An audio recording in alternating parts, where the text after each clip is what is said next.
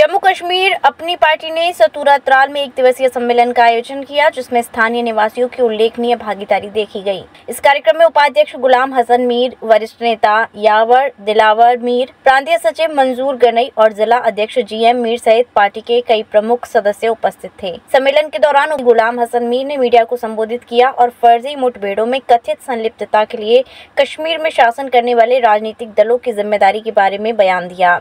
उन्होंने विश्वास जताया कि इन घटनाओं के पीछे की सच्चाई अंततः सामने आ जाएगी। यहाँ की सरकार तक ही नहीं रहा।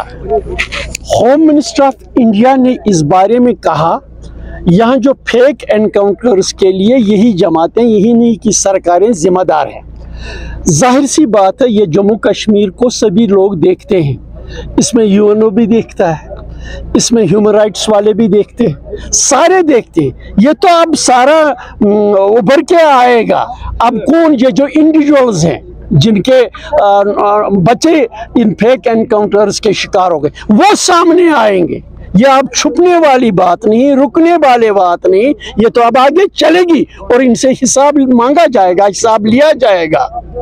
तो जिस तरीके से इस दावा किया जा रहा है कि आपकी अपनी पार्टी ने अभी मुख्तर वक्त में एक अहम जो है इमेज बनाई है, लोगों में बहुत सारा काम आपने गिवाए कि हमने यहाँ रोजी रोटी का मसला भी हल कराया है। फिर लोग पूछते हैं कि आपने जो है अपनी पार्टी ने अपने कैंडिडेट वहाँ नॉर्थ में खड़ा क्यों नहीं किया? क्यों आप सजाद लोन को सपोर्ट करने लगे सर देखिए, यही सवाल है, जब पार्टी छोटी होती है cut your coat according to your cloth हमने मुनासिब समझा, हम कंसंट्रेट करें इन दो सीटों पर, वहाँ पर दूसरा है, वो भी इस नरेटिव के खिलाफ है। जिस नेरेटिव के खिलाफ अपनी पार्टी है, सजाद लोन भी उस नरेटिव के खिलाफ है।